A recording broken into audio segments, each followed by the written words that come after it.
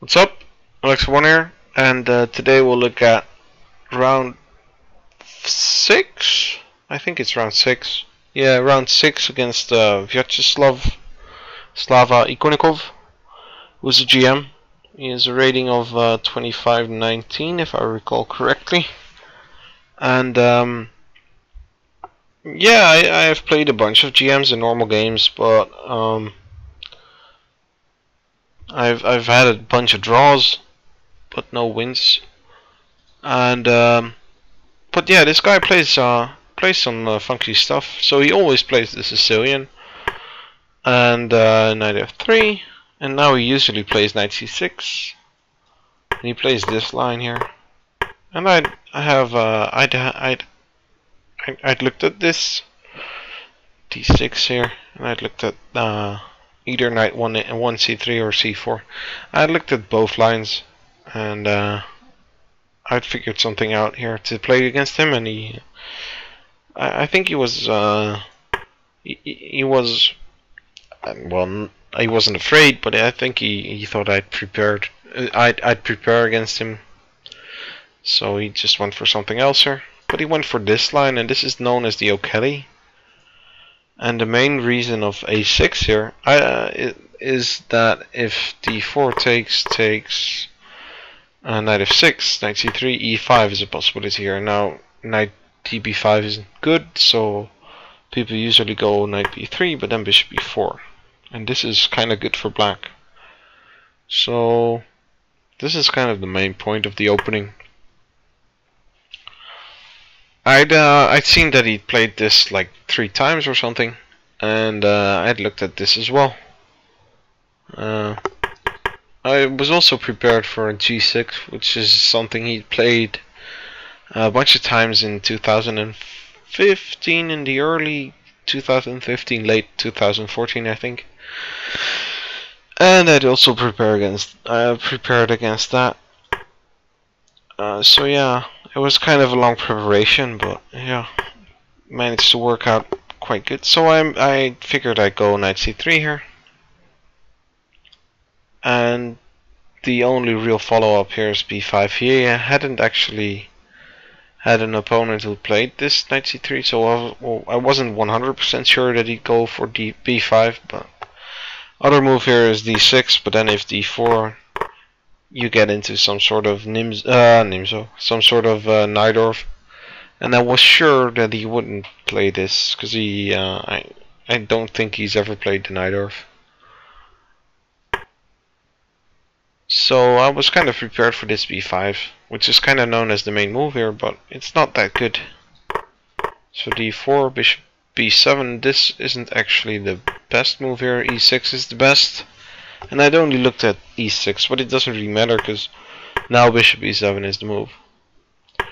Um, so I figured why not bishop d3, seems normal enough. But here you went uh, e6. I think actually, by the way, I think e6, bishop d3, queen c7 is the best move order but I'm not 100% sure here actually. So if you uh, if you want to know for sure, you have to look for yourself in the database, databases or with an engine or whatever. But um, yeah, that's kind of beside the point. Because here you went 96, and this is kind of interesting. Uh, I wasn't too sure what to do here, but I think taking is kind of fine. He doesn't want to take with the d pawn because then we can maybe get e5 in and a knight to e4 and that's kind of horrible for him. Or a bishop to e4 even. Uh, so he took with the bishop. He also closes down his bishop diagonal which is also not good. And now queen e2 seems normal enough. Also uh, if for instance b4 we can even go knight d5 it's kind of one of the points as well so yeah, queen e2, knight f6, and now e5. And here he had to go b4. I wasn't sure what, yet what I was gonna do. Uh, I think I was going to play knight e4 actually, but e takes f is maybe better. Takes, takes, takes, and now maybe b3. putting this bishop on this diagonal. But yeah, it's not that special, I guess. The g file opening up is kind of scary for me as well. So b4 was a better move. 94 maybe, I don't know. This feels like a bit better for us, but he doesn't have to take on e4 obviously. He can just go queen c7 maybe. Maybe f4, I don't know. Uh, instead he played knight d5 and now I've made a mistake of going knight e4. I'd missed this idea actually. A4. I'd seen it but I kind of forgot about it afterwards. I'd seen this uh, before in my head.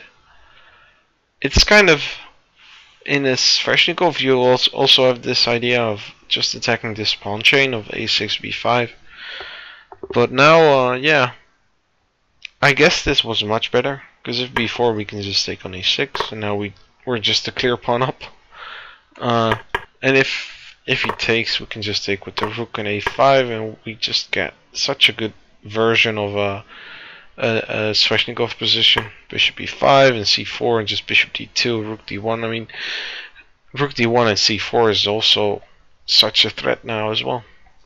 So I should have definitely went for that. I went for knight e4 um, visualizing some mating ideas. If he goes like bishop e7 and castle short, there are sometimes sometimes I can go queen h5 or something. I don't know. It was just uh, a bit optimistic, I guess. But he went knight b4, and this is actually quite a critical position. Queen c7 might be the best move, not this c7. I was planning knight g5 here actually and threatening queen h5 and stuff like that. Queen f4, f3 I mean. Yeah, I wasn't too sure about this. Bishop b7 is also moved, but then uh, queen g4. And this was kind of the point. Because if g6, then we can just go bishop h6. And this must be annoying for him. So he's a bit stuck here the the bishop can't really move and also g6 is definitely not a good move because then bishop g5 obviously and if bishop e7 just check here. Just check here and this is just this is just plain bad for him. Um so yeah knight b4 which is it's a it's a solid move. He's gonna win this uh, this bishop here. At first I wanted to go knight g5 here. But yeah, it just just doesn't really work because he can just take and then play bishop e7 or something. Uh, so I uh, I figured I should go bishop f4, and he took, and now I should take with the c pawn, which is actually it's really unnatural, but it's it's quite a good move. Um, the point being is that this bishop is just stuck. The same idea that we had three moves ago, if he goes bishop e7, we're just gonna go queen g4, and that just totally, yeah, annoys him because he can never castle then due to bishop h6, and uh, that's kind of the point of c takes d3 that after bishop e7, queen g4, this knight on e4 is defended. Otherwise, uh, knight bishop takes e4 is always a possibility for him. But now we just take back, and or even take on g7 in between.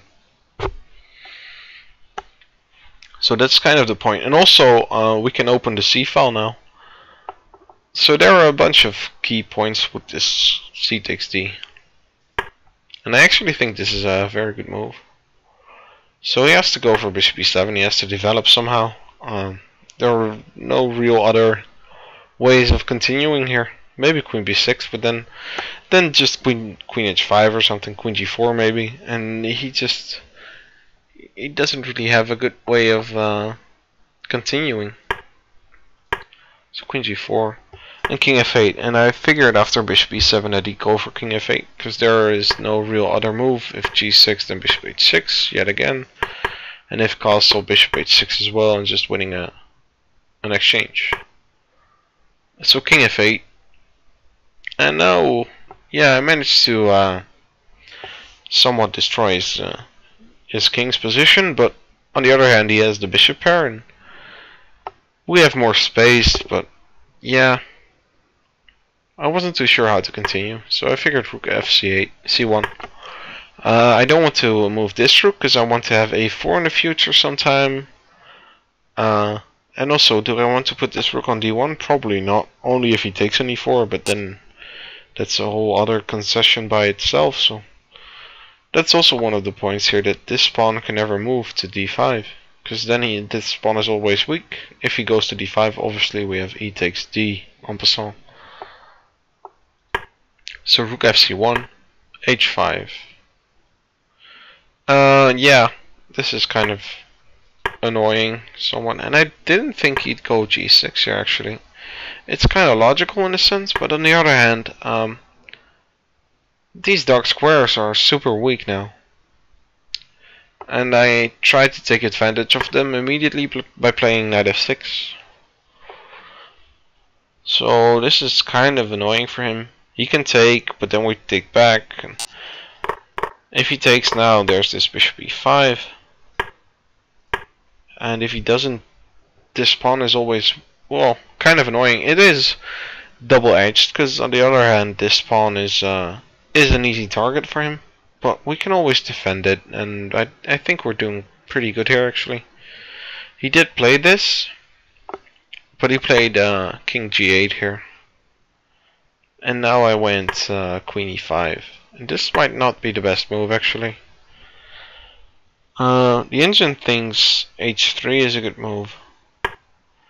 And if he takes, well, I don't really understand this. Well, I, I, I figured f4 and we'd be doing really good here. And I don't, I don't think my opinion has changed here. Um, So yeah, if that's the best idea here, then this this is just a, a pretty good position for me. Um, d6 and now queen d4. Yeah, I, I mean, black is just uh, in a in a world of uh, world of hurt.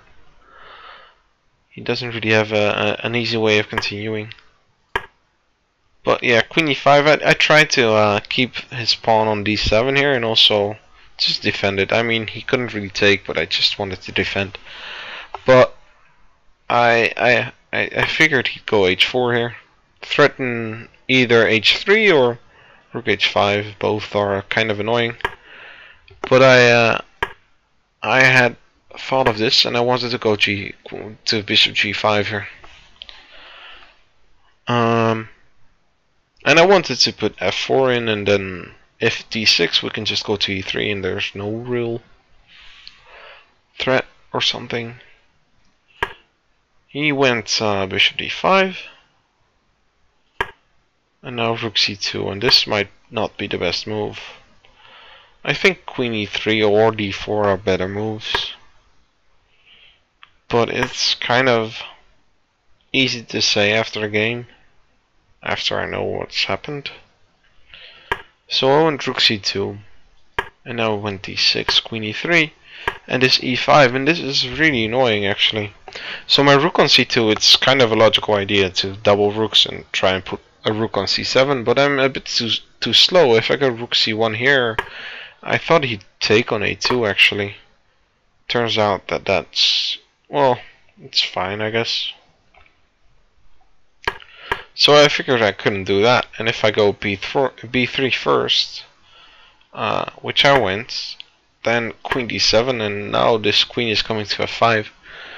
So I saw this queen coming to f5 here, and I figured, what should I do against that? Because that's kind of annoying. Um, so I had uh, this idea in mind, and uh, I played bishop h6 here.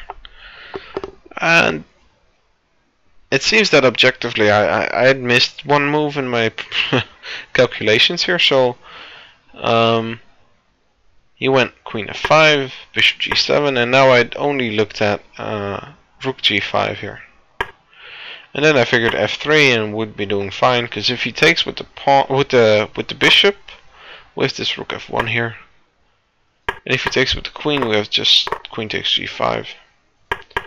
So I figured we'd be doing pretty well here. We'd never be worse and uh, Yeah, we're not getting mated, so that's kind of the the, the bonus. Uh, but I missed this queen g5 in my calculations, so I was a bit uh, annoyed by that. Okay, so I have to take. There's no not another another move here. F4 might be the only other move. So I took, and uh, yeah, I um, well, I, like I said, I didn't really think this. I didn't see the queen g5, so I was a bit annoyed here. But I had a quite a cool idea here after uh, 10 minutes of thinking or something like that. 15, I don't know. I wasn't sure. I, am not sure how much I thought. But I played. Uh, let's just stop the engine because it's kind of a cool move. So I played f3 here. Uh, this is kind of obvious because we don't want to lose that pawn.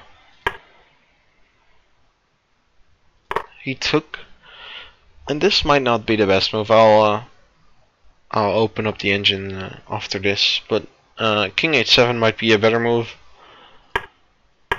Just to go, uh, I don't know, to, uh, to just to wait a bit, see what I'll do.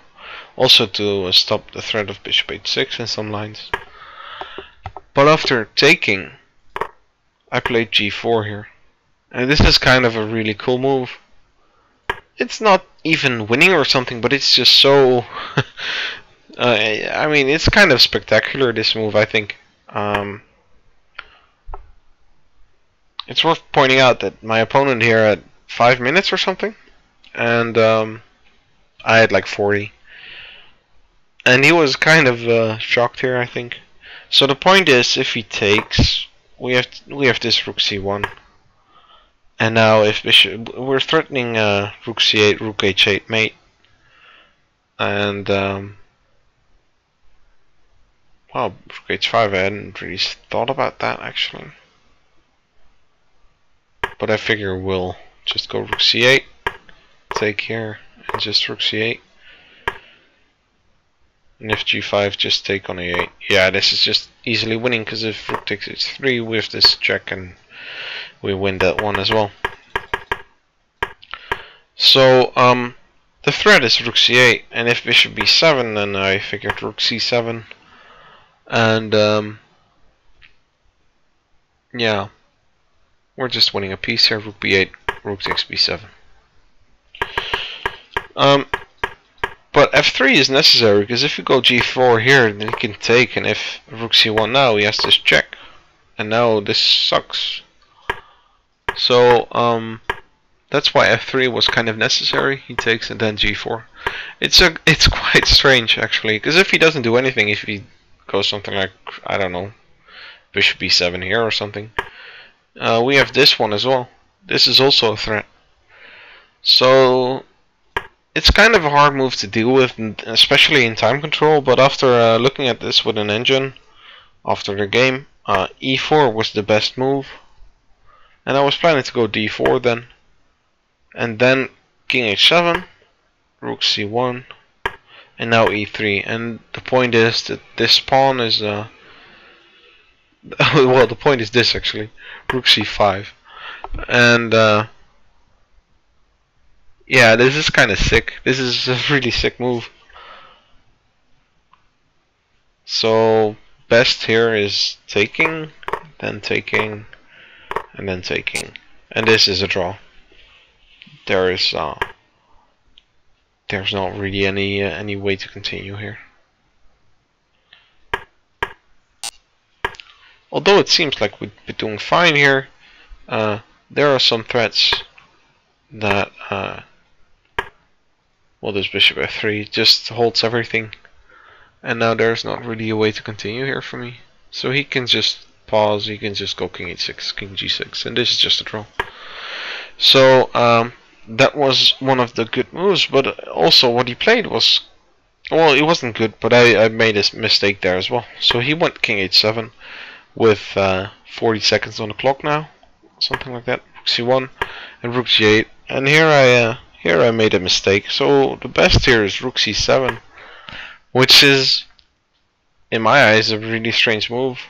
Um, the point is actually that if bishop d5, then we can go rook c8, and if not bishop d5, then we can just take on f7. So he has to take on g4 now, and well, this is this is really good for us. However, I went rook c8, but now he can take on g4. And this this kind of sucks actually. If if you, if you look at the evaluation, uh, black is doing fine here. The point of taking on g4 is that he can he can take c8, take and play g5. And now, although I'm a pawn, I'm a piece up, he has three pawns for the piece, and these ones are pretty uh, scary. They're gonna run pretty fast. So king g6, h3, and rook h4, and I mean, such a position is definitely hard to evaluate as well. But yeah, I hadn't seen this during the game, and neither did my opponent. But yeah, so he took on g7, which was his point, and it was the only move I was looking at myself as well. King takes, and now king f3. He went e4. And now it's kind of interesting, because how do I want to continue here? Um, d4 might be a move, but I figured maybe f5 or rook d5 and then f5 I think. I wasn't too sure. Um, but I figured uh, that rook, rook e8 might be a good move. Because if he goes d5 here, then we can go d4. And now this rook is stuck here as well. And I can just go king e3, king f4. Um, so I went rook, e, rook e8. He can he can can't retake here because this bishop is hanging. So he went f5, which is kind. It was kind of a shocker to me because it feels so scary to open up your king side. If I have two rooks here, your king is never really safe. But it turns out the king somewhat is. If I get a check in and then d4, d5 and rook e6, then it's a mate. But I don't have that much time. So I played king e3, hoping to go to f4. He took on g4, I took on e4. And here my opponent made the final mistake of the game. So this GM, uh, Ikonnikov had to go king f7 here. And I was kind of looking at this move actually, and I was thinking maybe, maybe I should go rook c8, maybe I should go rook h8. I wasn't too sure. I think I think rook h8 might be the best move here. I just want to take this pawn and be done. But now rook e5 might might be a good move. Taking here. To be honest, I think I had this position in my head actually at some point. But like I said, my opponent had uh, so little time. And although he had 30 seconds per move, and it's still not that much time. But he made the mistake of going rook e5 here. Now I can take, take, and play rook g1, and this is actually just winning. Because this bishop is, uh, well, it's kind of captured. If he takes on h3, we're just gonna take the bishop. And if he doesn't do anything, we're gonna take on g4. And the bishop can't really go anywhere. So, yeah. He tried for so, uh, several moves. And, um, he took here. And I had to be a bit precise here. But I think the most precise move is rook g4 here. As you can see by the in engine evaluation. Uh, king f3 might be a move as well, but this is kind of clear because we don't we we want to take on h4 and then take on h3 and then it's it's super easy. So the only move to uh, to calculate here for black is g5. Okay, taking. The only move to calculate is here is here is king h6 because otherwise then just rook h5 and rook take h4 so king h6 and now there there are a bunch of ways to win here. Um, I think the one I played is uh, really the most easily calculated rook g1 uh, rook g4 is the the engine way king h5 now uh, king f5 h2 rook g8 and now this is uh, Yeah, it's also kind of easy, but I think rook g1, and now there's no real way for him to continue. He can put his king there, but I can just stop these two pawns with my rook and then just win these two pawns with my king. So I go king takes e5, h2, rook to h1, king g4, rook takes h2, king g3, rook c2, and well, no, resigned. I mean, yeah, it's kind of easy, easily to see, uh, easy to see that I. Uh, I'm gonna win this if h2. I was planning to go rook c1 actually. King g2 and then king c5. And the king is not even close enough to stop one pawn, let alone two. So yeah, um, yeah, a pretty good game. Uh, I win against uh, this GM, and now I was at uh, five out of six. So that's kind of a good score as well. Um, the next round I had to play another GM, Cairns, Dutch uh, uh, GM. And if I were to win that game, then I would be playing for my third IM norm. Uh, sadly, I uh, I didn't win that game. I'll uh, spoil that for now. But yeah, this game was uh, was pretty good. I was uh, really happy with this, and it was my first win against the GM in a normal game. So that's also pretty cool. I haven't played that many GMs to be honest. Um, but yeah, because I don't really play a lot of tournaments. But this was a real cool game and I hope you guys enjoyed that as well. So uh, I'll see you guys next time.